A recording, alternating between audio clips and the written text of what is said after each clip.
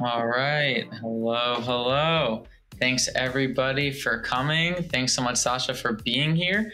Um, before we get started, a quick intro. Sascha is a machine learning engineer, a senior machine learning engineer at DoiT, uh, a remote first uh, machine learning company. He works a lot with Vertex ML and Google's entire Vertex space.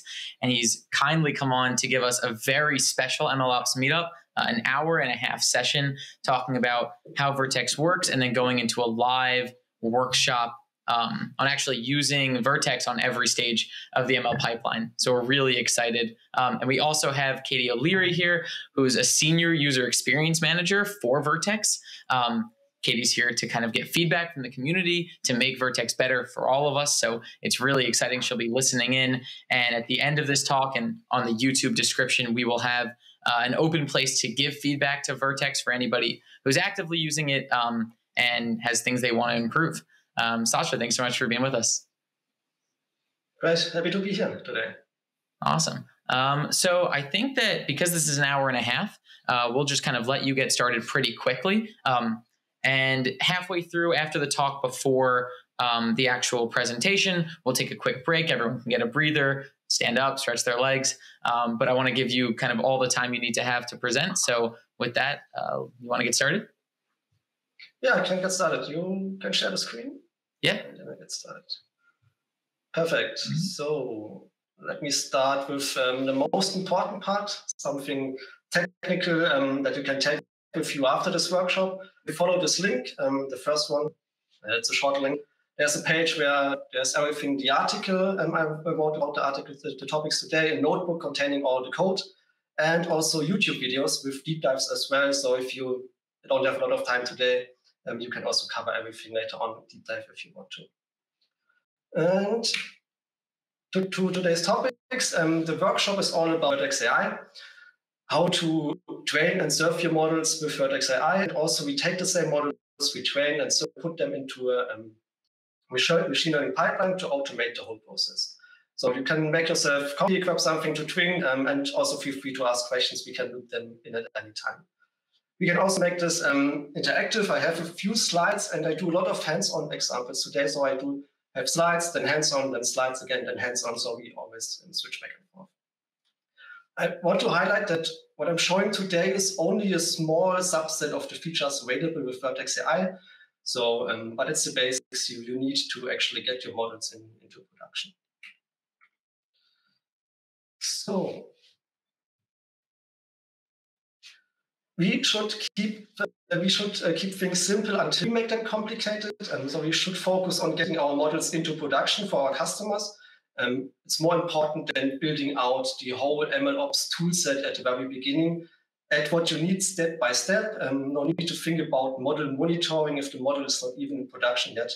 And I'm a big fan of Vertex AI because even the smallest teams can um, very quickly, with a lot of flexibility, put models into production. And with other teams, it's quite often that it's just a single person at a company. You don't always have the big teams with 10, 20 people doing ML. Sometimes you're a small startup and you have just one person doing the stuff. So it's a really good product if you're a very small team. But it also scales for, to any, uh, to any, um, to any kind of uh, size of companies. And hopefully today I can show you how I can show you that machine learning in the cloud can be easy and flexible.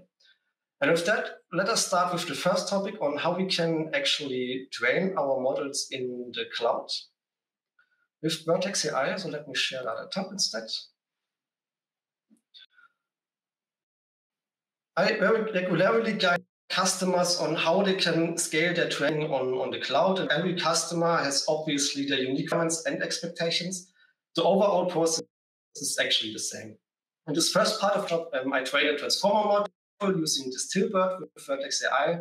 And as a machine learning framework, I use TensorFlow, but it will also work for any other kind of machine learning framework like PyTorch, XGBoost, scikit-learn, you name it. It's, there are no limitations at all. And if you have this process done once, you can do it next time in under five minutes. Usually, new ML projects start somewhere in a Jupyter notebook. You implement your POC to prove you have the right architecture. And then at some point, you need to train on a large data set. You want to put your models into production, and hopefully you plan to um, ditch your notebook at some point and put your um, implementation into a proper code repository. Vertex AI helps you to automatically scale, uh, automatically provision and provision the infrastructure needed to train your models. So there's no need to manually train, a, uh, manually manage a VM or a Kubernetes cluster. You can also train at any scale by defining the machine types and accelerators like GPUs or TPUs needed for your specific model um, and data set. And if you work on large data sets, you also have support for distributed training. On top, you get a proper logging and many debugging options. So it's almost like um, training on your local machine, just at a larger scale. And if you and if you still um, run your production training manually on a VM or on your local notebook, um, please don't. There, there's really no, no need for that. It's very easy to scale it uh, out to the cloud. To train with Vertex AI, we need to package our training code. That is needed because in addition to our maybe training.py file, we might have additional Python files and dependencies that are needed to run our training. There are two main ways to pack our training code and dependencies. And the first one is by using a custom container to pack the code and dependencies into a Docker container and then upload them to the Google Container Registry. It's similar like, like a Docker Hub. This is the most flexible way, and it's, in my opinion, the best approach. The second approach is by using a Python source distribution, where the training code and the dependencies are uploaded to a Google Cloud Storage location as an alternative. This is not the best way because we um, keep different versions of our training code in the file storage um, I would rather recommend use a custom container because if we upload the, the custom container to the um, container registry, it's already properly versioned. There are a few more, more other alternatives how you can train with Vertex AI, but those are not part of today's workshop. It's mainly because I believe that the custom container, the first approach, is, is the way to go. So it's just a container that could run on any cloud if you need to. So there is no vendor lock-in if, if you are scared of that. Anyway, as I, recommend, as, as, I mentioned, I would recommend to use a custom container over the um, other alternatives for, for a bunch of reasons. It makes it easy for us to integrate it into a CI/CD environment. Um, additionally, by Dockerizing the application, um, we reduce the um, issues with Python dependencies, which you have when, when you just run your Python code and, and you start it in your local environments. And you can um, run it basically in any environment where you can run a Docker container. It has support for hyperparameter optimization and different versions of the training application are still available in the container registry. So if you need to roll back to a different version of your, of your um, training code, you can do that as well. The overall process of creating a training application with a, with a custom container is fairly easy. Usually, or we have at some point, we have a, um, Python training.py with a bunch of dependencies that you can execute to start your training. This could be in your notebook, on your machine, somewhere where you, where you implement machine learning code. And we need to create a Docker file to install additional dependencies needed for, for, for our training, and we need to define a base image, so the, the base image where our container is running on. Then we build our uh, custom container as a third step using Google Cloud Build and push it to the Google Container Registry. You could also build the um, container locally on your machine um, but I like to use Cloud Build because we can easily integrate it into CI/CD. And finally, we use that custom container to um, run our training job. And with that, we can already get started with the first um, hands-on demo. Let me switch to the code. And those are the notebooks that are also available for you. So if you want to um, follow it later on or now during the session you want to. I have put this into a Colab notebook because it's easy for me to share with you and share with my the customers I, I, I work with. I usually recommend to have this in a proper GitHub repository and using your, your favorite IDE to implement it. I would not recommend to do this in a production, like but for me it's easy to, to share with you.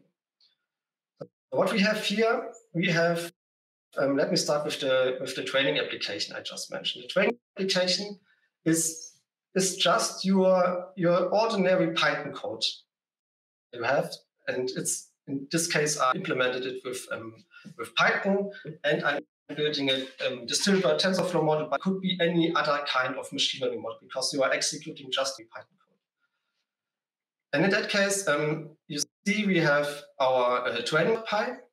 And if I execute this cell, the training pi is written to the um, file system. So I have the file here available. So it's almost like in a local development environment. I'm not going into the details of the machine learning code here because um, it's, it's it's unique for for every use case. You know how you how to implement your use case the best. It's just about how you can train this model. But you can see here we, we have the ordinary stuff for for building a, a, um, a model, and we do our model model fit, so the training and fitting. Then we save the model. The only thing which is unique to Vertex AI, we take the model which is which is trained upload it to a Google Cloud Storage location. So this is the only thing which is now Vertex AI specific. Um, but you could upload it to wherever you want. You could also upload it to another cloud provider. You could upload it to your another open source product. You could also upload it to Vertex AI um, stream. I just uploaded it to um, the to Google Cloud Storage location, and we can see that when we execute the training in a couple minutes. So this is just a Python code, and you see as soon as this Python code is uh, started, we execute the training, and the training for the model starts. So easy to set up.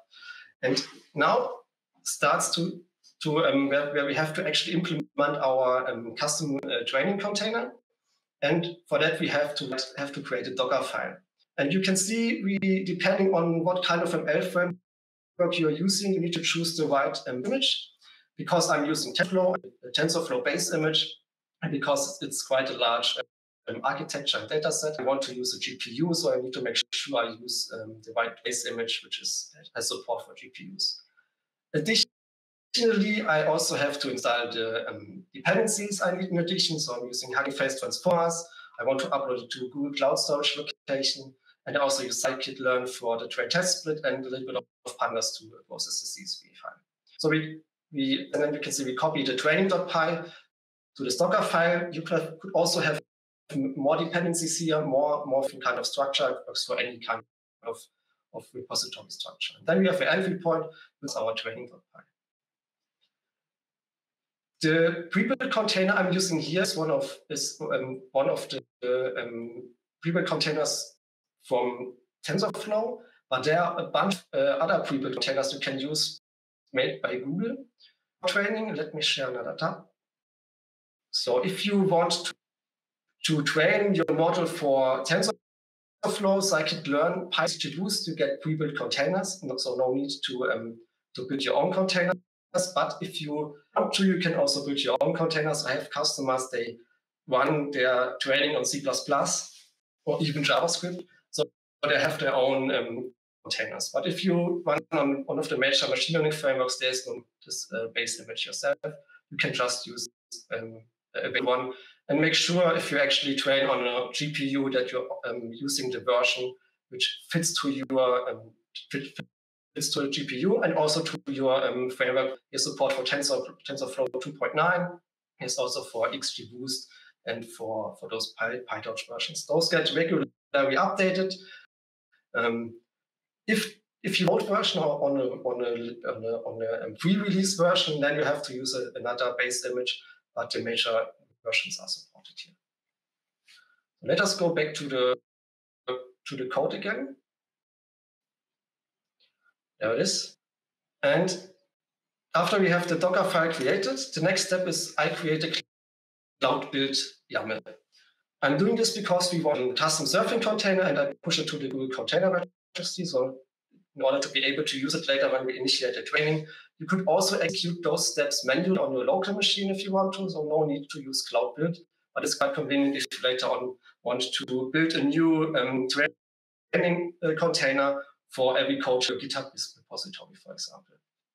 So write this to the file system, and there are there are uh, three steps. The first is um, we, build the Docker container by using um, Docker build, and we define the um, container name, container, name, container name and to the local file system where our Docker file is uh, located.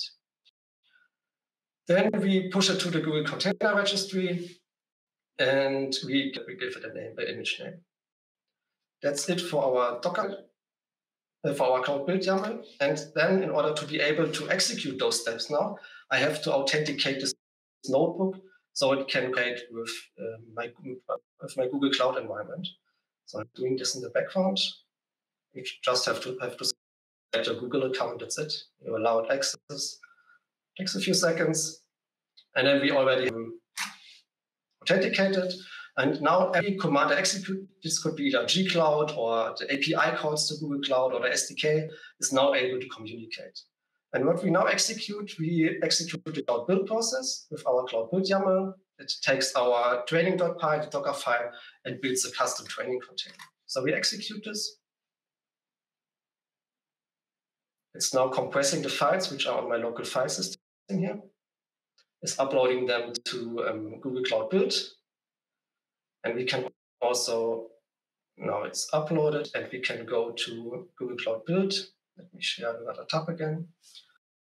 And you can see we have the um, process here running. And it takes about three minutes until the um, images is uh, until the custom training image is built. So we have to wait a few minutes, but I already did it, so we can also take the other ones. So those are already um, done. And as you can see, we exactly have the steps. We clone um, Oh, this is actually the serving container. And it's this one. Yeah, so we built uh, we were, um, the custom training container we push it to the container registry. In a few minutes, this is done, and we can go to the um, container registry. So you can also search here to uh, registry, and you can get there. And here I have all my um, Dockers and if you go down to Vertex BERT training, this is exactly what we now push. The latest is from two days ago. In, in one or two minutes, we see the newest image here. Wait another few minutes. By the way, if there are any questions in between, feel free to uh, write them in the chat and Ben can loop them in. So I just wait another few minutes.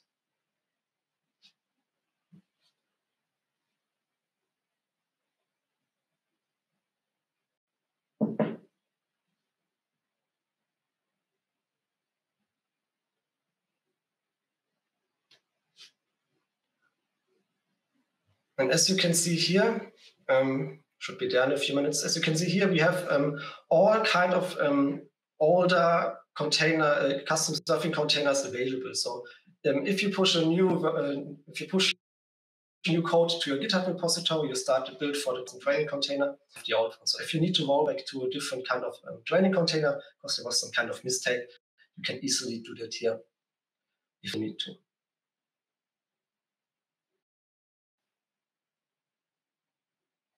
So it should be there. Ah, it's already done. That's great. So let me reload the page here. And here we just now, so we now have our custom training container. And if we now go back to the notebook,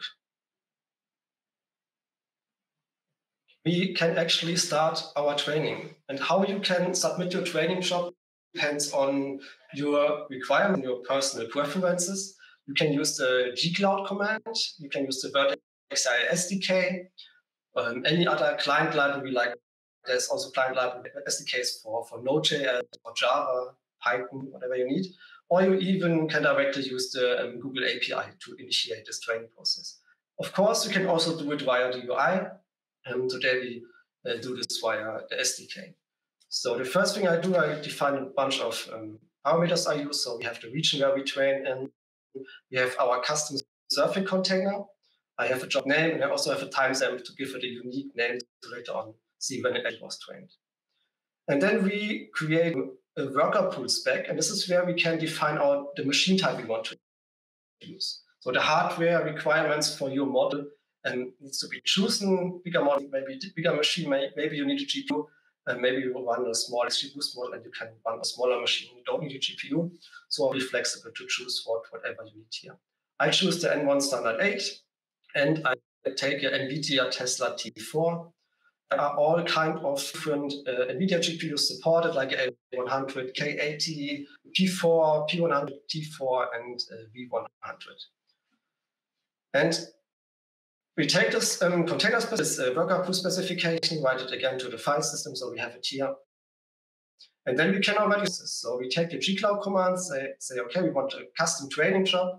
We create it, we define the region where you want to, to train on. Usually it's the closing where also your data is located. And then we give it a display name and we take exactly this config. And that's already all you need to initiate your training with, with Google Cloud, uh, with Vertex AI. And now training is started. If we head over to training, so this is the I section. There you have all the functionalities of Vertex AI. One of them is training. Later on, we also cover the endpoints, the model registry experiments, and also pipelines. But now we are here in this uh, training part. And now we initiate a custom training job. And as you can see, it's already pending. So it's now spinning up the infrastructure we requested, the GPU and the machine types we, we defined. And it takes a couple of minutes and the uh, model train.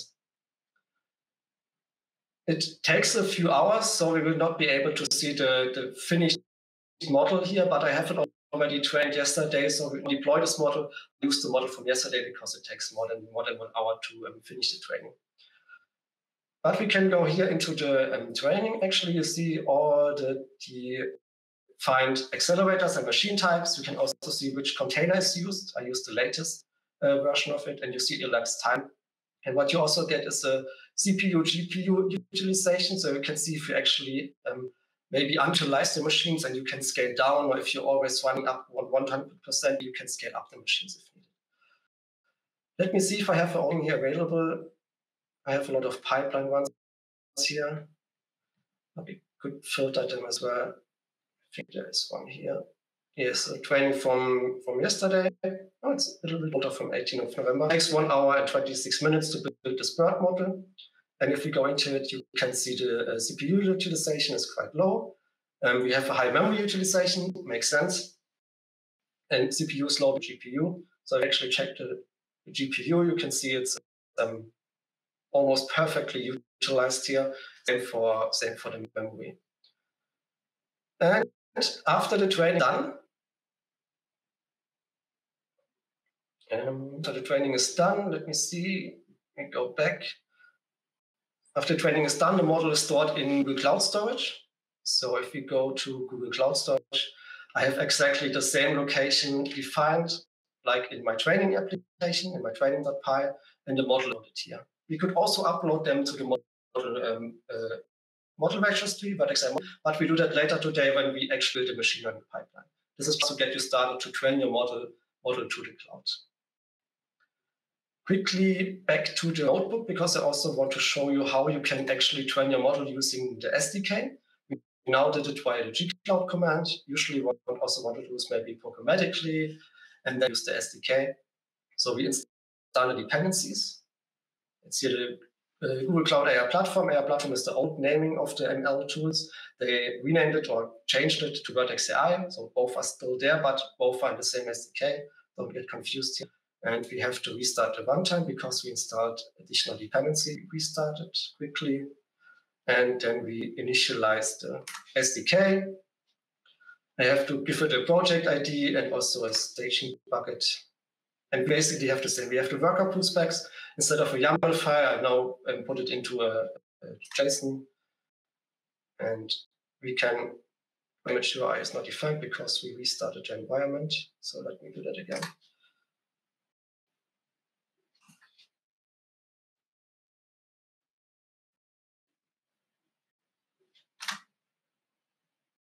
So now we have our worker pool spec and we can start the same training process using the SDK and start the training here as well. So now we have a second training running. You can start as many things in parallel as you need, depending on how many models you want to train in parallel. So we have now two BERT models training here. So you can see it's actually easy to, um, to train your models on the cloud. Hey, Sascha. So we have one question coming in. Um, I don't know if maybe this is being more relevant when you get into monitoring, but uh, one question is about how do you enable model, model monitoring uh, for new versions of models, but deployed to the same endpoints as existing ones, if that's not automatic? Yeah, it depends on what, what kind of model monitoring you want to um, enable. Later on, when we go to the endpoints, I can also show you how you can enable model monitoring for your de deployed um, models.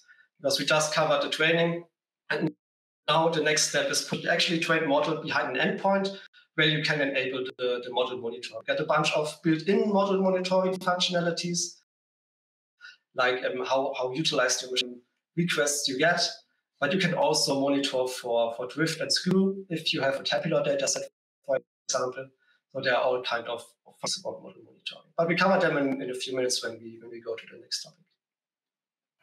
Awesome. Thanks. Perfect. And oops, sorry, one other question for training. Can we use spot instances while kicking off those training jobs? Yeah, with Vertex AI, there are no spot instances available, at least at, at the moment.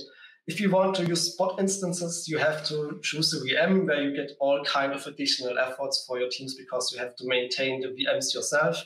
Um, you could also do it with, uh, with, with, Kubernetes, with Google Kubernetes Engine. Um, but again, it's it depends on, on the experience and the size of your team. If you can confident, uh, if you can easily maintain your Kubernetes cluster or your VMs, you obviously can do that to save um, save a little bit of, of, of, money. But Vertex AI comes, it's a, it's a um, serverless and fully managed service, and it comes obviously at extra cost.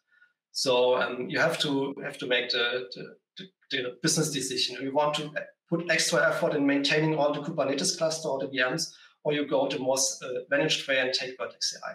And this is obviously totally different for each customer. We have customers where it's really just one ML person who's doing the stuff, and they obviously don't have time to manage the VMs or the Kubernetes cluster. They use Vertex AI. Um, sometimes we also have, have customers, they, they did a lot of Kubernetes um, training, so they, they do the training on Kubernetes, and they want to go to Vertex AI because their ML teams spend too much time on managing the infrastructure. So it's it's a trade-off you have to take. But I'm I'm all in for Vertex AI and take the extra few cents. Okay. Cool. Um, actually, we have a follow up to that, and all and one other question. Um, so one of them during training, is there any way to enable real time TensorBoard access? So while the job is training, while that model is training, to be able to access um, the TensorBoard UI, is there is there an integration there? Yeah, absolutely. There are different ways to solve this. Um, you can write the um, outputs of, of your training, which you usually open when you open your TensorBoard instance to a Google Cloud Storage location. And you can connect even your local TensorBoard instance to this Google Cloud Storage location. There are also TensorBoard instances here available inside of Express. Um, you can also host your own TensorBoard instance. So in the end, it's just a file stored somewhere, and you can store it on a Google Cloud Storage location and open a TensorBoard instance, even if it's training with Vertex AI. So fully, fully flexible here as well. It's, it's like training on your local machine. Right, right. Um, that makes sense. And so another question, maybe based on your original answer, saying going all in on Vertex as a managed service. Um, we have one question asking about when to use, for example, Vertex AI from Google versus when to use Google's AI platform. Like, what are the differences there? When would you pick one or the other? Yeah, the AI platform was the, the previous um, suite or product suite around machine learning, uh, uh, machine learning, and they now introduced Vertex AI. So the old AI platform will be deprecated at some point. So if you if you get started with machine learning on Google Cloud, always go to Vertex AI because AI platform is the old product. Always go in, all in for Vertex AI. Got it. And maybe similarly, um, as it relates to Kubeflow, although Kubeflow is maybe a different entity in of itself, are any of the same components that are available in Kubeflow also available in Vertex AI, or are they kind of separate but trying to solve some of the same problems? Yeah, Kubeflow is a, big set of very different kind of toolings about machine learning. It tries to cover a huge bunch of, of stuff you, you, you do about machine learning almost the same with Vertex AI. Um, you have support for experiments with Kubeflow. You have support for pipelines with Kubeflow. You have support for serving your models with Kubeflow. You get this here as well. You can serve your models with, um, with the endpoints. You can train your models with training. You can um, build out the pipelines with pipelines. And this is actually it's interesting because um, we covered that at the last part of the workshop today. We covered pipelines and the technology behind the Vertex AI pipelines is actually Kubeflow pipelines. So if you build your um, pipeline with, with Kubeflow pipelines, you can easily run your pipelines here with Vertex AI. So it, it, it has, a, there is some kind of interconnection between. Awesome. Um, last question, and I'll let you get back to, to, to where you're at.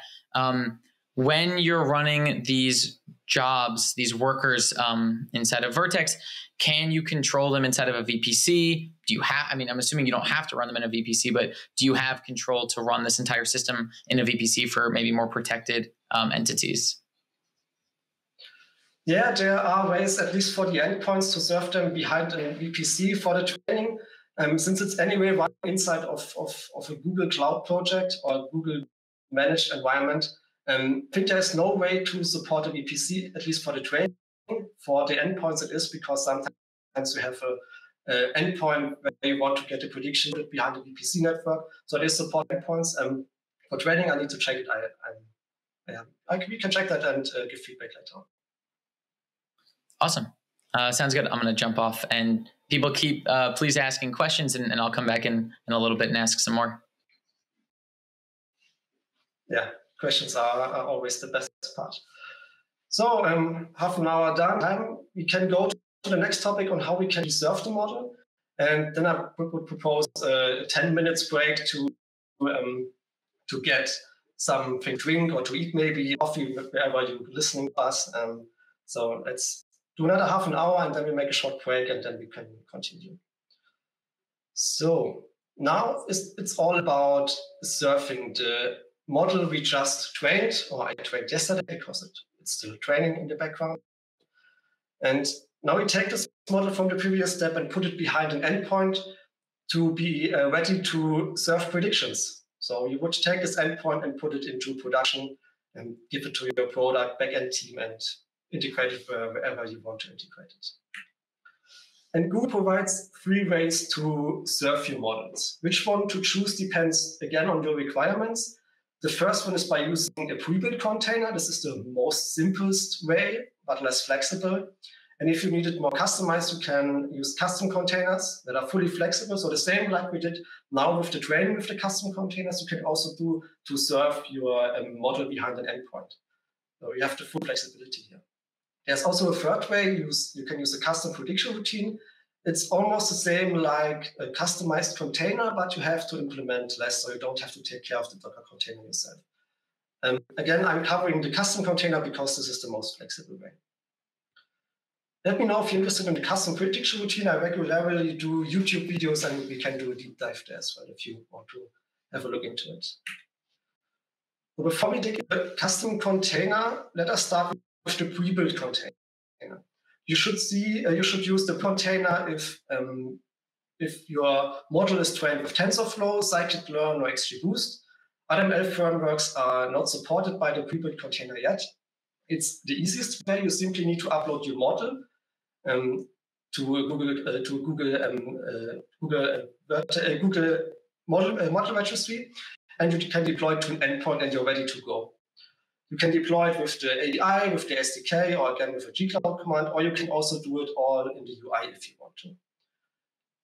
If we, if we do it this way, we only have to provide two parameters. We have to provide the pre-built container made by Google and the Google Cloud Storage location where our model is stored. And let us have a quick look into documentation to how we can see, uh, to see the actual pre-built containers we have for um, serving models. So similar like the pre-built containers we had for training, we also now have pre-built containers for serving. If we have TensorFlow, we have scikit-learn, and we have XGBoost pre-built containers. Let me go back to the slides. For example, again, if your model was trained on TensorFlow 2.8, you choose it from the list. Make sure you use a GPU if you want to use it for serving as well. Um, no magic, really effortless, easy to use, but you might have some more specialized requirements. And for that, we use custom containers. Custom serving containers are used for, for this more customized use cases. And a custom container is again just a Docker container containing everything you need to serve your model. And you need to create a Docker container yourself, like we did with the training as well. And companies have very different reasons to actually build a custom prediction container. For example, the pre-built containers do not support UML firmware. Like PyTorch, there is no pre-built um, container yet. So for that, you need to build your own custom container. Or you want to have complete control over the prediction code. You want to do some custom logging into your prediction code. Maybe you want to log your prediction requests into a database, later on do some analysis on top of it. And quite often we also need to do post or pre-processing for our predictions. For example, if you have to tokenize your input, if you're using some kind of transformer, you have to tokenize it first. And for that, we can also build a custom container. And another quite useful feature, if you want to host multiple models within the same endpoint, you can also build a custom container. This custom container needs to follow Vertex AI specific requirements. So we need to uh, we, we, need to follow those requirements in order to be able to have a unique um, interface between our custom serving container and the Google infrastructure. And we cover that uh, soon when we head over to the code.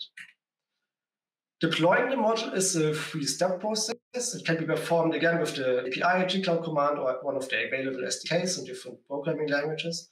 And the first step, we have to create an endpoint. This is this has to be done only once for your model, and we can later on serve different kinds of versions behind this endpoint. Then we have to upload our model to the Vertex AI model registry. And then we can take the model and deploy it to the uh, Vertex AI endpoint. So this is a three-step process, and this is always the same if you train um, new models. Uploading the model requires only a few parameters.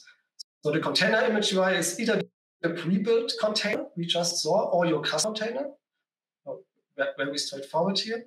And artifact URI is only needed if you use the pre-built container. For your custom container, there's no need to provide the artifact URI because we're taking care of loading the model ourselves in the custom container. But before we can deploy our model, we need to create a Vertex AI endpoint. As, as I said, the step is performed only once, and it's needed for pre-built and for the custom container. And make sure the region is the same as your model region, and the region is close to where you want to um, serve your model. And finally, we deploy the model to an endpoint. The first ID you can see in this example is the endpoint ID. We created in the previous step. We do the hands-on session now in a couple of slides. And the second ID you can see is the model ID. And there are more parameters like the machine type, how we want to do traffic splitting. You could deploy a model and route some of the traffic to the newer version to see everything works well before you put all the traffic to the, to the newest version. You can use accelerators here like GPUs and the default machine type, if you don't define it, so I don't have a machine type defined, This is an N1 standard 2. So it's quite a small machine. And make sure you, you use the right machine for your model and for your um, for your, for your uh, model requirements. After a few minutes after we deployed the model, the endpoint is up and running and ready to, to serve um, the predictions. So to, to implement this custom container, we need to follow requirements nothing too complicated. And if you follow the requirements, you can get the container up and running with just a few lines of code. The very first requirements, as the name suggests, it has to be a Dockerized application. So the Docker container needs to follow um, those requirements. The most important requirement is we have to provide the HTTP server that listens for requests on um, 0000 and port 8080. Those are the default requirements. You can also override the port if you want to. And then we have to provide the HTTP path for health checks. So in order to tell the Vertex AI endpoint, okay, our, our model is ready to be served. Sometimes you have to load the model, sometimes you have to initialize it. So we need to make sure it's ready for serving requests, um, and then we return it to 100. And we also have a predict endpoint. This could be all customized if you have a different kind of predict endpoint or a different kind of health check endpoint. You can customize it, uh, customize this as well. And the last requirement is around the input and the output, the response, and the um, uh, input. The request has to be in a JSON format, similar like like um, it's it's a JSON or JSON with array instances. But those are the only requirements you have to follow. Except from apart from that, you are fully flexible again. As I said, we have customers like running machine learning models in C++ or, or JavaScript. So they're using exactly the same technology. You just need to be sure you follow exactly these requirements. And that, it doesn't really matter how you serve your models. It's, it's working because it's an ordinary um, Docker container. For this example, we built a custom container using Python. When we head over to the code, and I use it because it's the most used language among any ML use case. And as you can see, the implementation here, this is the minimal um, boilerplate code I need to serve a model. I use Fast API. You could also use Flask if you want to, or any other kind of, of um, API um, technology around it. And as you can see, I have a predict endpoint and a health endpoint. And the predict endpoint, whatever you have to do for your specific kind of model. You can load the model, you can pre-post, do pre-processing, you can do the prediction, you can do post-processing, you can add additional logging. So you're fully flexible. There, there are no limitations at all on how you can um, build a survey container. And then, like with the training, we need to build um, a, some Docker container. I'm using a Jupyter API based image. You could also use PyTorch serving here if you want to, to serve your PyTorch model. You could also use serving. You could also use TensorFlow serving, but for that we already have the built images. And then the same, we install dependencies needed for, for, for the serving container. We copy our code, and I also copy the model. So I always recommend make sure you integrate all your artifacts like the tokenizers, your model model itself into the Docker container, because I often see companies downloading the models from, from somewhere from a Google Cloud Storage location. And this um, leads to cold start times because if you want to scale up the service automatically, so you have auto scaling for Vertex endpoints, and if you get a bunch of, of requests, imagine you have some Black Friday sales and you need to scale up the predictions. Um, and you, for, for every instance you start, you download the model again. And this, depending how, how large the model is, this can take a few seconds, but sometimes even minutes till the model is initialized. So I always recommend to put the model into your Docker container itself to reduce um, cold start times. Sometimes you can also, you, for example, if your model is hosted somewhere else on, on Hugging Face or, or something similar, you could also run into uh, limits if you load a bunch of instances to serve your models and you always download the model from Hugging Face, you could also run into um, limits on the Hugging Face side of things. So always put, put the artifacts into the container, no matter how, how small they are. To build a container, I again use Cloud Build. Um, three-step process. We download the model from the Google uh, Cloud Storage location. We build the container image, and we push the container image to the container registry. And then we are already ready to serve it. It's exactly the same like training your model, uh, building the training container. It's exactly the same. The only difference is we actually copy it into the um, container image. So to get the predictions, we can again use the SDK, the API, gcloud, or the UI. And I cover both of them. We go now to the um, demo. I think it's enough of talking. Let's do some coding as well. So let us switch over to the code and then I come back and I talk a little bit about limitations because there are some limitations and we need to talk about them. And I also um, tell you how, how costly this uh, thing is. So let me share the serving notebook. And as you can see, I have for every notebook, there's also video, there's a deep dive article and the, the notebook. And I share the link of our, of our workshop. So again, we, first we authenticate so we can communicate with the GCP environment. And then same again, we have a, a main.py. This is our actual code for serving our model. And I can't say it often enough, you are fully flexible on, on how you serve your model. I return health OK immediately because I'm loading the model directly after the initialization of the .py file. And then I have my predict code. And as you can see, I have a tokenizer. So to serve this model, I actually have to do some kind of reprocessing to the, I then get plain text as input. So I have to tokenize it. And then I can um, put the tokenized text into the model. And then I can return the predictions, also do some kind of um, nice uh, formatting to get a nice uh, prediction response in a JSON format. So we write this train.py, it's again on the file system here. Then we also use the Docker file, and as you can see, I copied the, the module, which is later on in the cloud build process, gets downloaded from the cloud storage location into the local cloud build environment and it into the Docker file, so we don't have to download this. This is the cloud build process again. You could also do it, as I mentioned, on your local machine too. And then we start the cloud build process. Copies again the file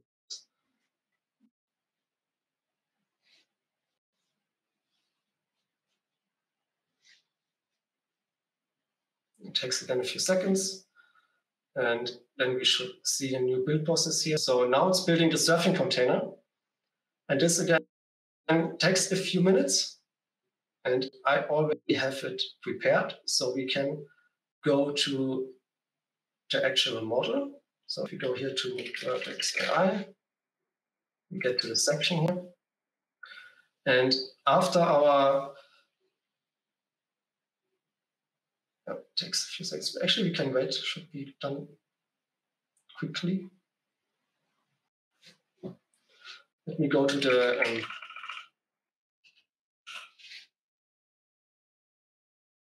um, registry.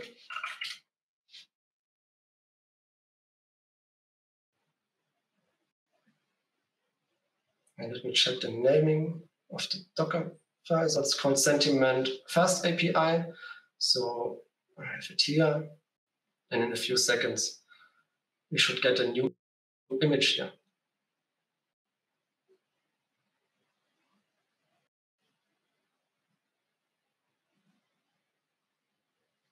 We can also use can also use the, the build five days ago to save us a few minutes. So the, the custom serving container is now building. I'm using the, the latest a couple of days ago. So we go back to the code and now take and uploaded it. So the, the, custom container is now building. It contains our model. We upload now our now also now our model, which is defined here. So you can see we have to define a container image URI. This is our serving container. We define a port. We define the um, predict endpoint and the health endpoint, and also the region and the display name for the model. So I'm gonna skip the execution here one anywhere in the background. And we now can upload the model.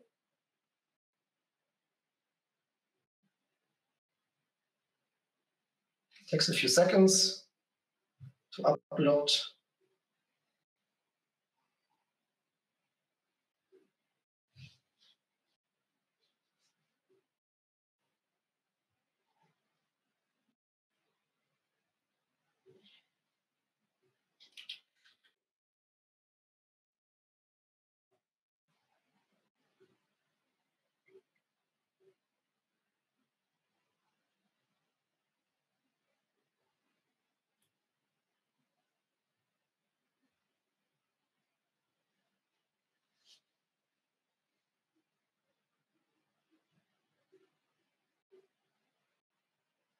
Still uploading.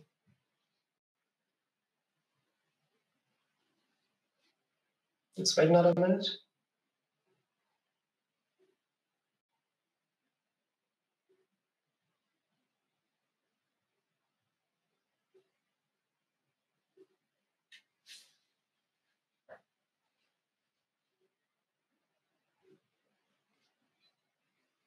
Live demos, sometimes we have to wait a bit.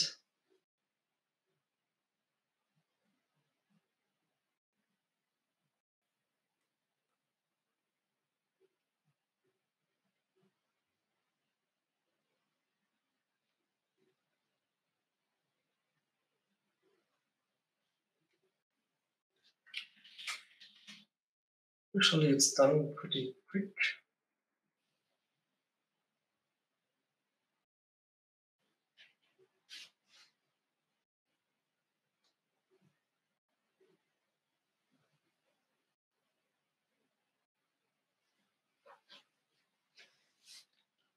So now it's done.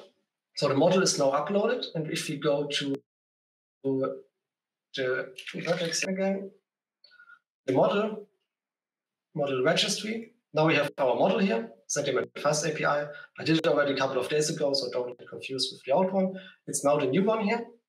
And the next step, we need to create our endpoint. So we create an endpoint and we can actually rename it to MLOps because I think I already have an endpoint of this name. Just a display name. So we create this endpoint.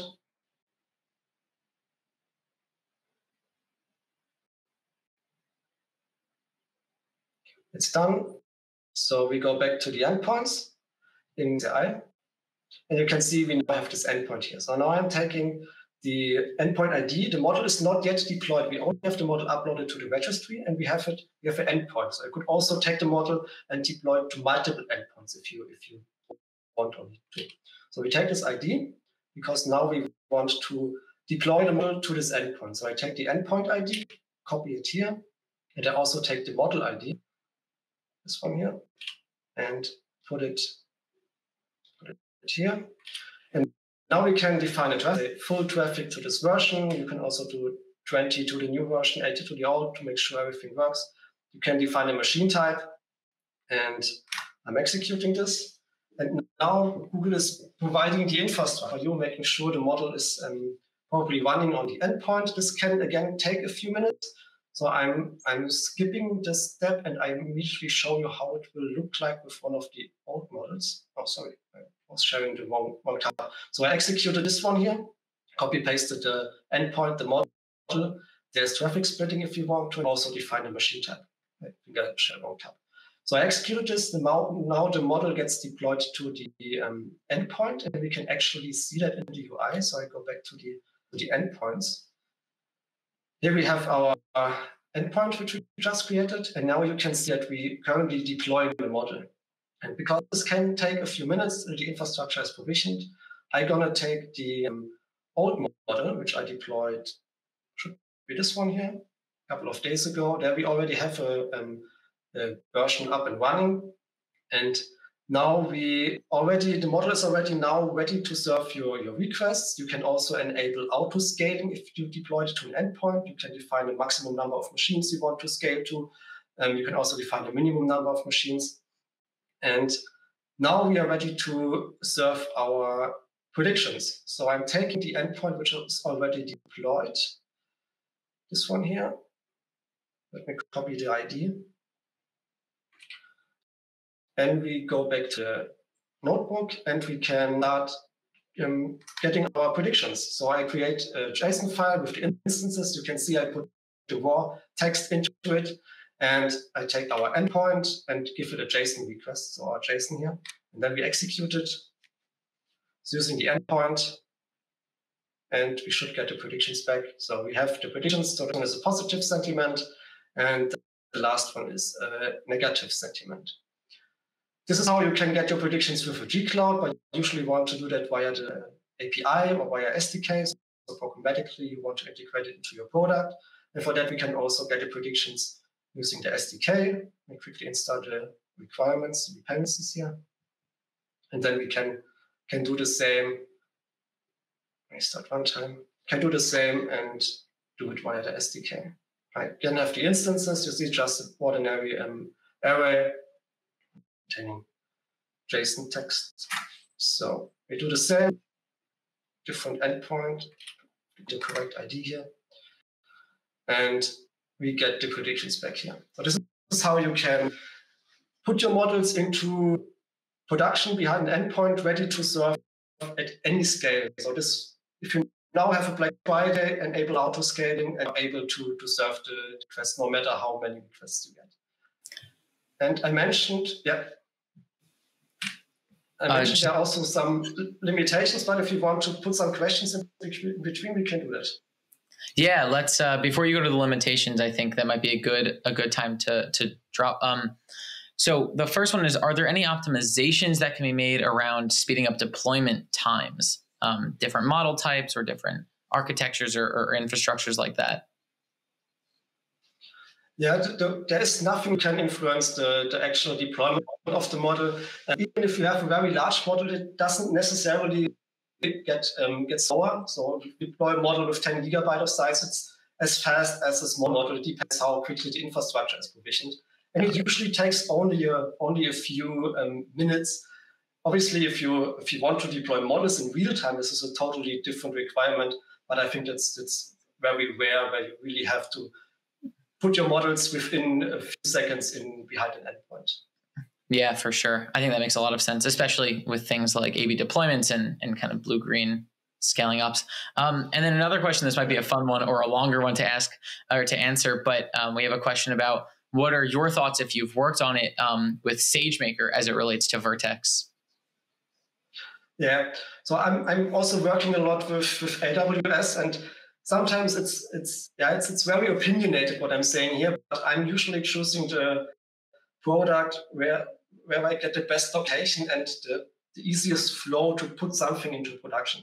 Both are great products. Um, it's still Vertex AI because you have a very nice UI, you have really, good documentation, and it's just working well. And with AWS, you have to dig a little bit more into the, um, into the documentations, and you're less flexible because you always rely on the AWS SDK.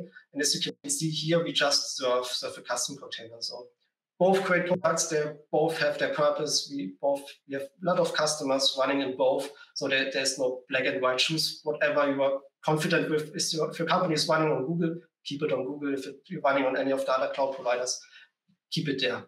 That's my opinion. Awesome. Um, that makes a lot of sense. We have one more question that just came in about um, the payload size limits. I don't know if there is some type of payload size limitation, but um, someone's asking about any workarounds for that. I would imagine maybe batching or something. Are there any built-in workarounds um, for those payload limitations? Yeah, so this is where we come back to the limitations. Um, as of recording of this session here or, or workshop day, those are limitations. Those are subject to check. Maybe if we watch this video in a year, maybe the, the limitations are already gone. So this is the stand of, of today. As, as, as um, the person said, there are limitations around the request and the response size. So it's limited with um, 1.5 megabyte. So if you want to do predictions on really large images, you need to make sure they're not larger than 1.5 megabyte. You can do that by doing intelligent um, encoding them to base uh, 64, for example, or any kind of, of, reduced size. For the response, it's actually easier because usually we do just a prediction. So the only thing we have, have, have as a response is maybe a bounding box with some coordinates, maybe the, the class or the confidence scores. So it's less of an issue with the response, more of an issue of the request or the image to actually send to um, to the service. There are right. open open uh, support requests, open feature requests where you can upvote. So they are all tracked by Google. Google is aware of them and they're actually working on getting those limitations done. Another limitation is around the size of the models. At the moment, the last time I tried a big model, this was um, kept at 15 gigabyte of model size. So it's actually the file size of your model, which is already quite large. But with the newer and newer transformer models, it can get up to 50 gigabyte of model size. So I assume there will be also support soon for bigger models. And there's one final limitation, and those are actually the only three limitations I have found supporting many, many customers on very different kind of projects. But only those are the really, really limitations you get with the service. Um, vertex endpoints do not scale, scale down to zero. So you have always one instance up and running. This is less of an issue if you have only just a few models.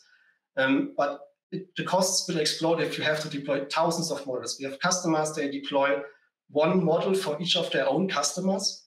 So there, obviously, it will not be um, yeah, business-wise good decision, but this is a very unique use case. And Google is also aware of that. There's an open support ticket, uh, open feature request, where they um, hopefully soon provide support for downscaling to zero as well. I can also recommend to try out Cloud Run to deploy machine learning models. If you don't need any of the other Vertex AI functionalities, you could also deploy Cloud Run.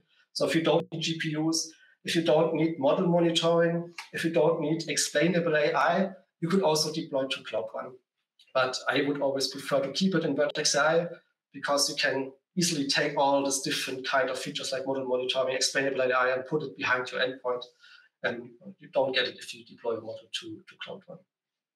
And I would imagine, at least with these limitations, especially as you go into the next section of pipelines, um, if you have, for example, a limitation where you just need to deploy your model and you need to be able to have payloads larger than uh, 1.5 megabytes. You can use Vertex for every step up to deployment, package that all in a pipeline, and then deploy it to some custom VM um, that is, for example, managed in GCP. So you're, you're pretty close. Um, you're just maybe not all the way there if, if you have to get around one of these limitations. Exactly. Yeah, there, there are always ways. We have one customer who's really doing uh, predictions on really large kind of files, and they have it up and running in the Kubernetes cluster. But it's a large company. They have a lot of people. They know how to to um, build out the Kubernetes cluster. So it all depends on your requirements and on, on your ex- expertise on this, this topic. Awesome. Thanks. Regarding the pricing, it obviously depends on the machine type and if you need a GPU or not. Um, to give you an idea about the pricing, if you run it on if you run it on the smallest machine, which is N1 Standard 4, this is usually more than enough to run almost any kind of XGBoost model. You pay $90 per month to run the model 24/7. Um, obviously, also depends how many requests you need to serve in parallel. If you need to scale up a lot, um, you obviously have multiple machine running for a short amount of time until you scale down again. So it depends on the number of requests, machine type you need, and uh, how many, uh, how much you need to scale up.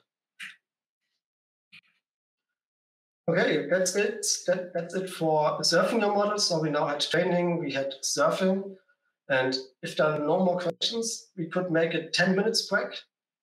And we are back in 10 minutes for machine learning pipelines. So we take everything, training and serving, and automate all the steps we now did manually and uh, put it into pipeline to actually do this on a regular basis, do the training every one hour, or once a week, or once a day.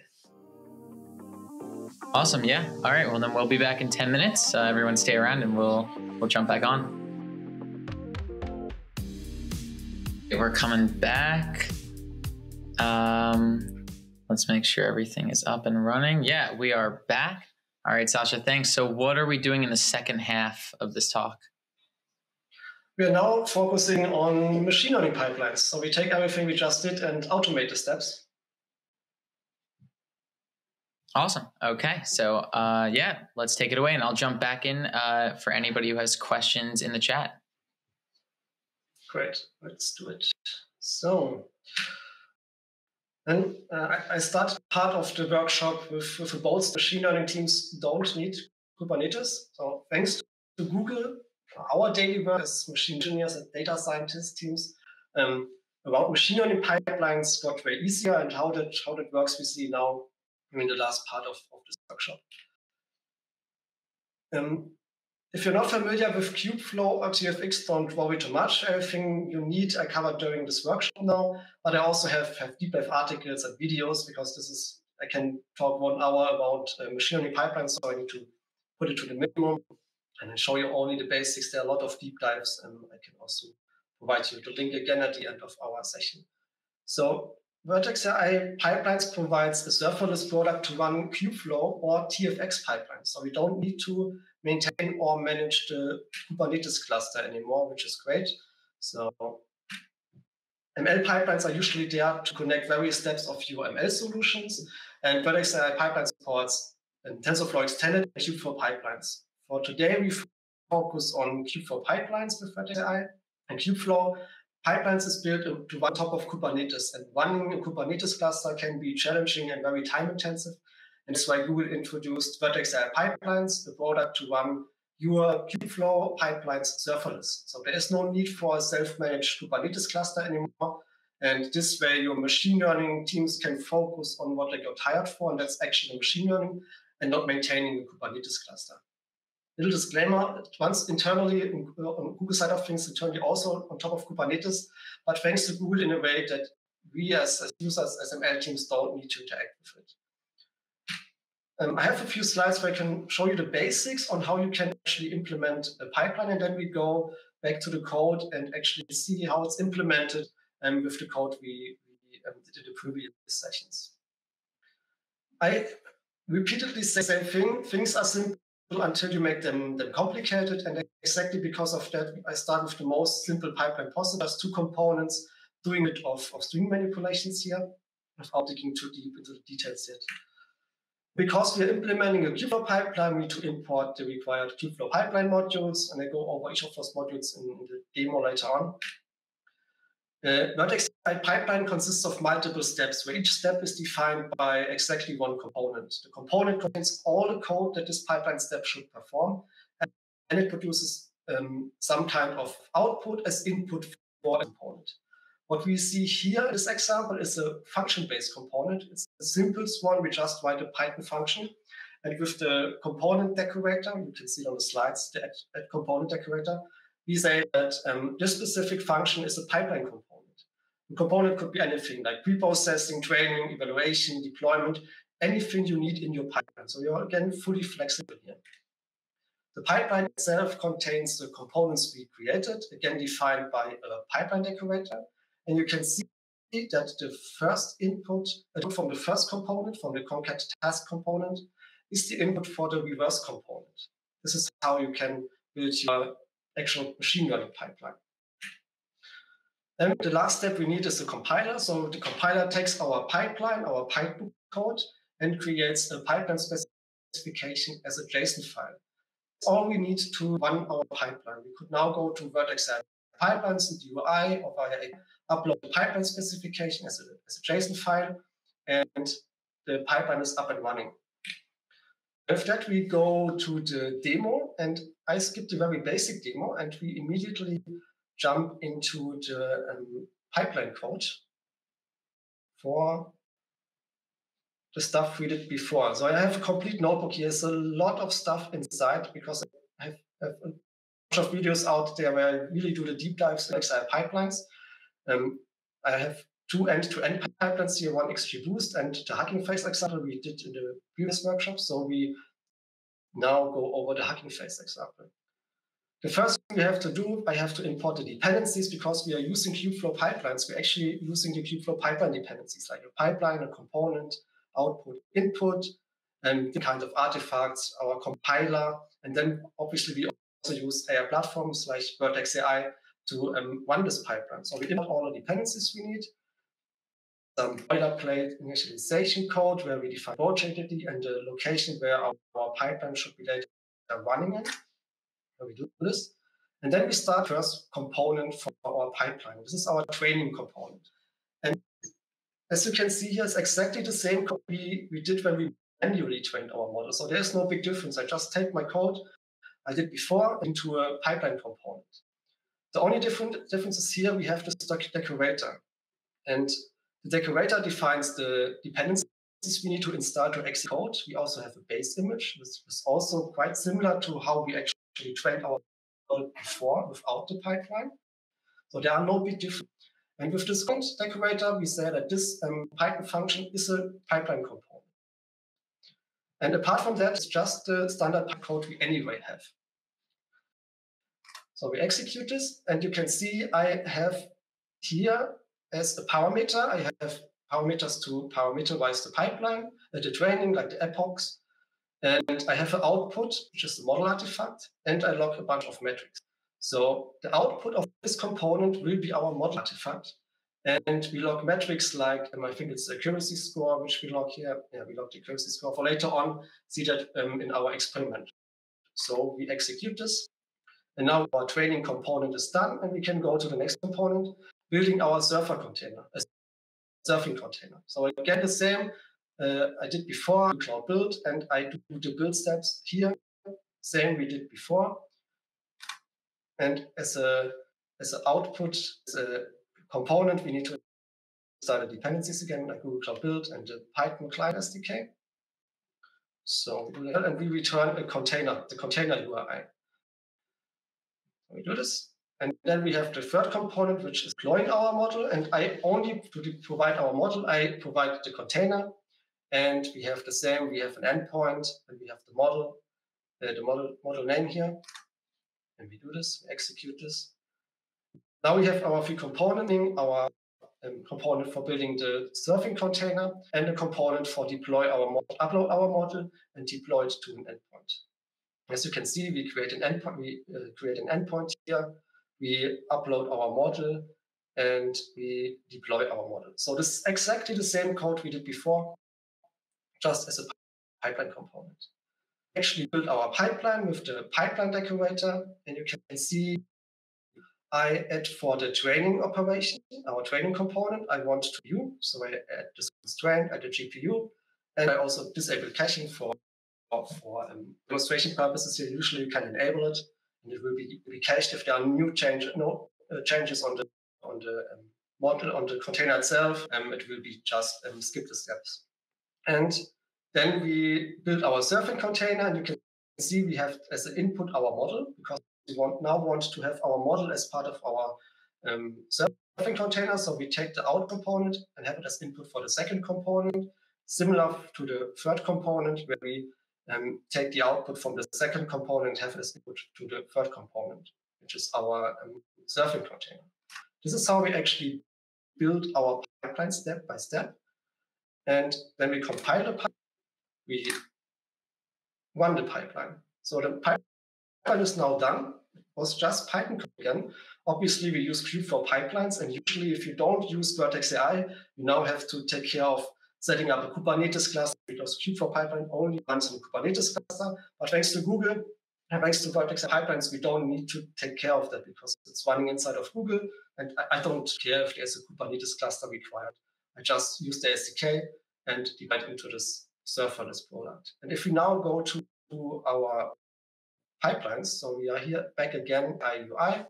We have our pipelines, and you can see our sentiment pipeline is now running.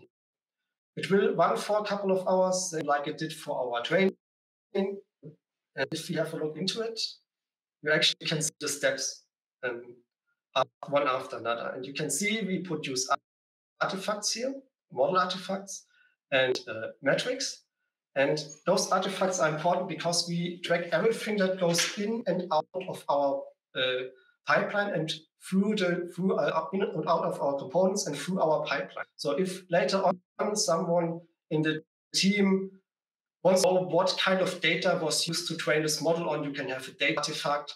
And if someone wants to know um, which model was produced by this training, they are all track those kind of information. So you get this model lineage and you can also reproduce the environment at all times because all the data that goes in and out, everything is tracked.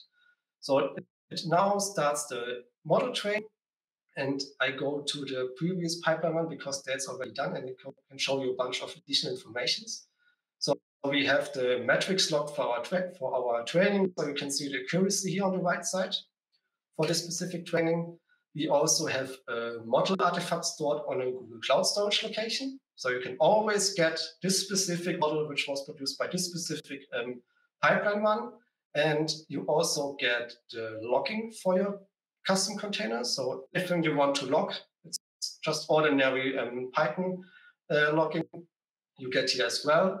So it's it's really like training on on your um, on your local environment. And if we go have a look into the job as well, you can see it's quite similar like to to the training we did before. It's running on, a, on an internal job. And you can you can uh, see with the NVIDIA Tesla T4, and you can also see the utilization for each of the components. This is how you can execute the um, pipeline, build a pipeline, and now you can you could schedule the pipeline to execute, be executed once a day at 12 o'clock and you get this continuously um, training for your pipelines. This is obviously a very small example here. There are many different ways because they're fully flexible to build um, your pipelines. I have a few other pipelines built here, so let me share them here as well. Here's a BigQuery recommendation pipeline, so it can get as complex as you need it. Um, I also have um, this pipeline, which is a which is a deep learning pipeline for recommendation systems. And since it's just Python code, you can also interact with BigQuery, you can interact with any other cloud provider, any other kind of product. It's just Python code execute here. So there are no limitations at all. And the big benefit Google takes in setting up the infrastructure, take managing the Kubernetes cluster. There's also no Kubernetes cluster in your uh, environment. You only pay for the machine types you use during the execution of components and you pay, you pay a few cents per, per, um, per pipeline execution. That's it. So it's very cheap because you, if you usually have a Kubernetes uh, kubeflow pipeline running, you always have the kubeflow cluster up and running, even if you don't train, even if you don't have machine learning pipeline, usually always up there and running. until you only pay if you actually run your pipeline. And with that, let me go back to the um, slides. And I pick a few of the interesting slides. So we saw we can use function-based components. This is the, the, most basic type we can use to implement a pipeline, but also implement a, um, the pipeline components as container-based components. You can also use a bunch of pre-built components. So Google has a really, really good integration into their own product suite. So there, there are pre-built components to upload a model to the Vertex AI model registry. Uh, there, are, there are pre-built components to create data sets, to do batch predictions, so you don't have to implement the stuff yourself. You can also share components. So if you already build a component and you later on want to reuse them for another pipeline, you can do as well by just importing the pipeline the component specifications. You, have, you can parameterize your pipeline. You use any kind of, of artifacts. And you also get the model lineage I, I mentioned. So just answer questions like um, what kind of uh, data was for any specific model. And you, it's all stored in VertAI, so it's always there and always ready to be tracked. So as I said, I can talk hours about pipelines, but let me go quickly to the um, to the price. So it's um, three US dollar cents per, per pipeline one, and obviously the costs for the resource like the machine types and the GPUs.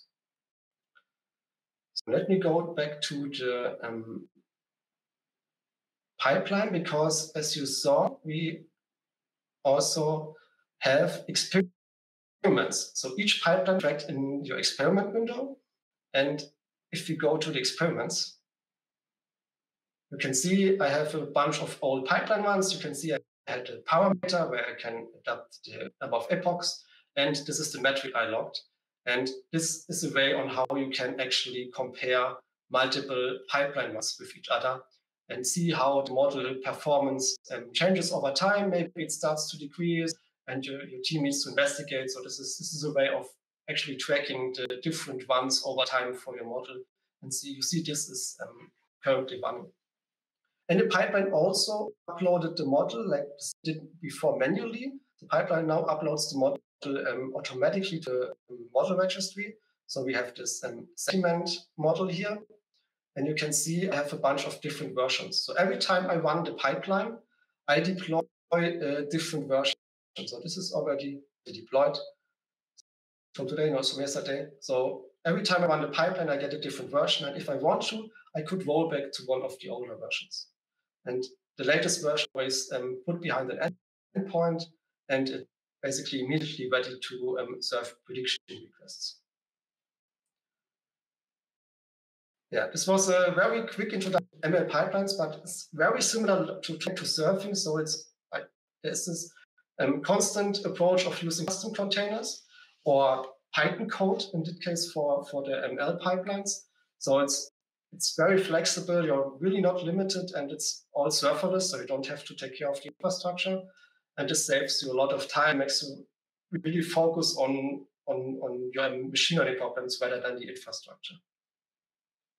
And if you want to have a deep dive into um, pipelines, you can also check out my YouTube channel. I have, um, I think, yeah, 21 minutes where I go into the very details of, of Vertex AI pipelines if you want to. And if you don't want to miss all this, I have a link where I put together all the articles and code I covered today. So you can um, follow this link, then probably put it uh, under the video and share in the chat. So there's everything you, you need to reproduce the uh, workshops with. Fantastic. Um, we have actually one more question that just popped in, uh, which is about using Vertex experiments versus Vertex hyperparameter tuning? Yeah, those are um, two similar, but in the end, different products with um, experiments. You can also track um, the performance of your model and your parameters. Experiments is more like you have a model and you really want to fine tune it. You want to run in parallel a large number of parallel trainings. So you want to try out different hyperparameters. You can choose the hyperparameter algorithms So how you want to choose the, the hyperparameters you actually want to, um, to try out. And then you get a nice interface where you get all the, the trials, all the hyperparameter trials, and you can see which model, which hyperparameter um, performed best. So it's a little bit different. Here we just compare pipeline ones, and with hyperparameter tuning, you compare the, you get actually, the actual best um, hyperparameter. Right. Fantastic. Um, actually, another question just popped in, which is about scheduling pipelines. I think you showed that um, a little bit earlier, um, but I'd imagine you can do it through um, either the SDK or through the UI, like you showed, right? Yeah, it's um, in the UI not supported yet, but it's very easy. The Google has a really great documentation. Usually, do you use a cloud scheduler? So it's just a cron job inside of Google Cloud and this cron job um, is executing a cloud function, and the cloud function is calling the pipeline. Sounds sounds like a multiple step process, but it's very easy to set up. And I also have a YouTube video on how you can do that. Um, and usually, if you have it done once, then do it pretty quickly. And then you are fully flexible. You can adjust, adjust the cron job if you want to switch from hourly training to daily training. So yeah, awesome. it's working and it's integrated. That's awesome. Uh, question for me: How many would you say across the the people you're working with how many production models have you trained and deployed in the vertex platform like to what scale have you used it because you're such a big proponent of it yeah we work i work with a lot of customers especially digital natives so companies they know how how they use um, technology and almost all of those companies have at least one model up and running with uh, pipelines with uh, vertex with vertex in general so that's all the companies have, have models up and running. Obviously, we also have a few companies who just get started. Um, they, they at the very beginning, but they are all in production, so it's it's production ready. It's it's working, and there you can use it. That's awesome. Um, we actually have maybe not a question, but as much as maybe some useful feedback for for Katie. Um, have you, Sascha, at least noticed when you're using the Vertex Vertex batch prediction service that it's slow or maybe not consistent with its performance, or have you noticed that to be pretty consistently uh, fast? It depends on the on how you how how much you need to scale because if you do batch predictions, you predictions to multiple machines.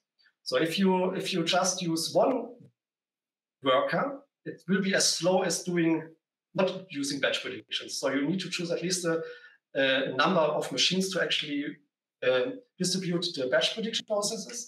And then again, in the background, it spins up the infrastructure for you. So it, it, it isn't any kind of it's called batch processing, and it can take a few minutes um, till it actually gets started until you get the, the um, predictions back. Got it. So it sounds like you're saying batch predictions are useful at scale, uh, wherein the uh, initial cost of spinning up the infrastructure is less than what it would actually take to run those predictions. So if you have if you can afford the overhead of spinning up the infrastructure, then when you're using batch predictions, spin up multiple um, instances. That part becomes you know reasonable in time, and then it can actually make very very large amounts of predictions. If, even if you put your modes behind an, an endpoint for online serving for online predictions, you can also enable auto scaling.